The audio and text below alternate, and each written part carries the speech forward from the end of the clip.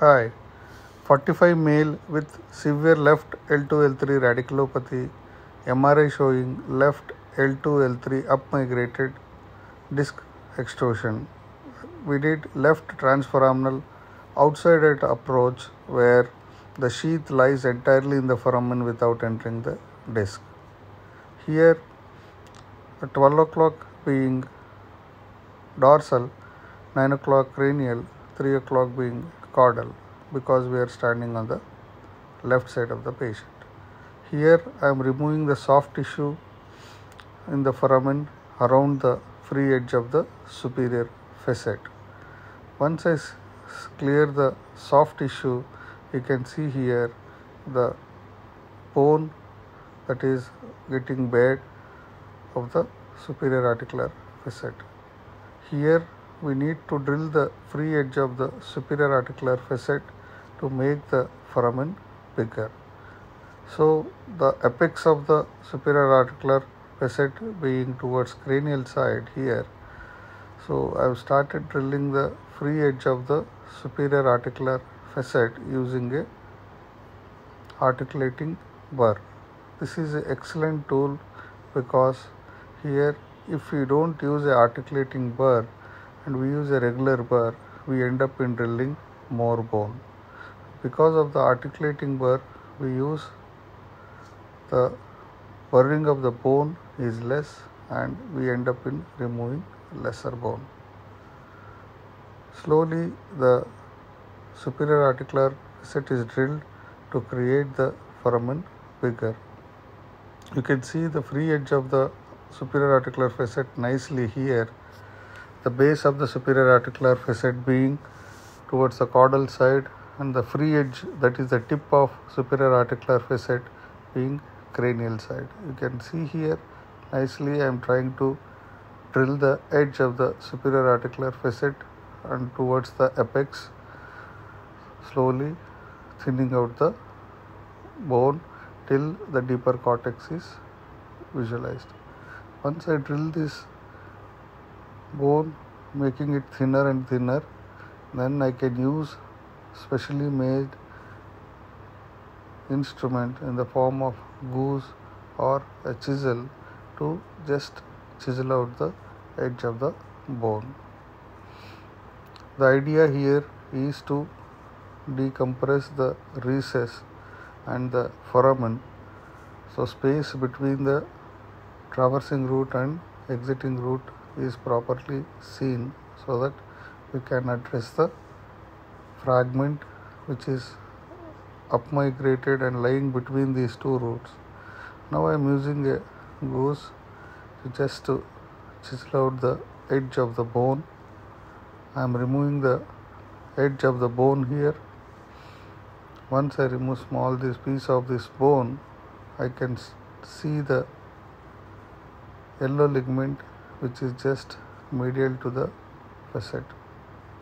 And see here the yellow ligament is seen now just medial to the bone which we have removed. I drill further so that the space is created more. This is a, how we do foraminoplasty also. So this here we are doing a inside, sorry, outside out approach.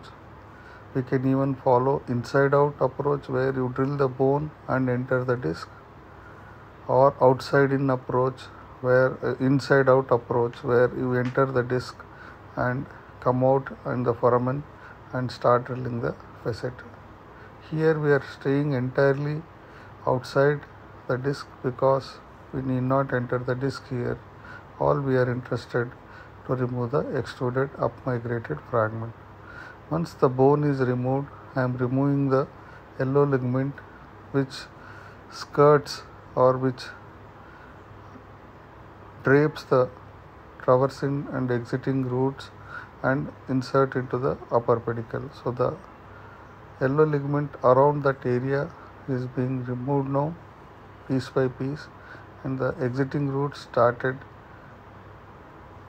seeing now we can see the exiting root here and the moment we remove the uh, that skirted ligament we can see the traversing root also. That is the traversing root now once you can see here just below the exiting root that's the extruded fragment. I use a, hook kind of a thing to just delineate or deliver the fragment outside. You can see I'm using a hook here just to deliver the fragment out and slowly the fragments are removed. Anatomically here we are working between the exiting and traversing root of L2 L3 space. That is uh, L3 is the traversing L2 is the exiting root and we are working at the body of L2 just superior to disk space. That's where the fragment has migrated. I'm removing the fragments bit by bit the advantage of endoscopy is the visualization is so clear the anatomical delineation is very clear I am able to see the edge of the roots fat globules and the disc very clearly so that avoiding any injury to the exiting root or traversing root. The bit by bit fragments are removed. Make sure that all the fragments are removed. Here I am almost removed the most of the fragments. I will use a hook to again see any fragments are left behind. So here there are small fragments still left behind and now I will use a hook to just see deeper inside you can see the ventral dura now falling nicely traversing root is visible nicely now because the fragment has been removed after removal of the small fragments just to confirm you can use a hook to just see whether everything has been removed. I'm putting a hook there into that space. It's in the ventral dura at the body of L2. A small fragment is there which I'm trying to hook it out and remove the remaining fragments. Once this remaining fragments are removed, just identify the anatomy and come out. The biggest advantage of this outside out procedure in such patients is you need not enter the disc, you are entirely in the foramen, decompressing the roots and coming out. The patient goes home on the same day with a small opening in the back which heals spontaneously. It's the beauty of endoscopy where there is no harm here done to any of the structures everything is visualized you can see that's the traversing root the yellow ligament just lateral to the traversing root is also removed. Now it's visible now.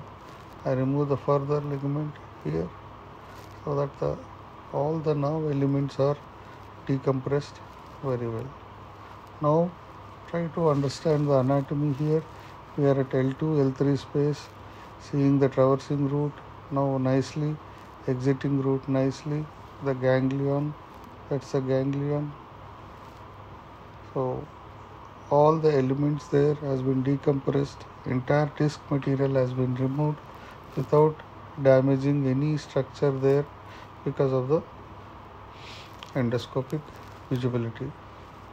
Now that's the area where disc had prolapsed.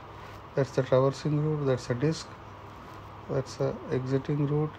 And also we can see the superior edge of the exiting root clearly here on the fat.